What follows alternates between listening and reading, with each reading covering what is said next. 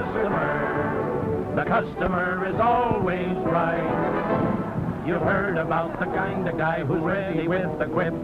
The guy who, when you stumble by, says, How's you like the trip? Instead of tipping the waitress, it's the table he loves to tip. Three cheers, three cheers. The customer is always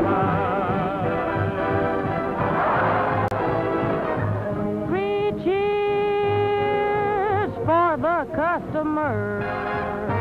The customer is always right.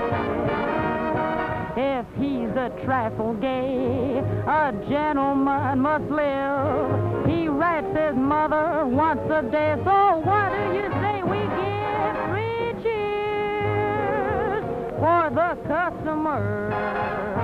The customer is always To us, he's just like Santa Claus without the all old toupee. And as a testimonial, we'd love to shout hooray, cause he's the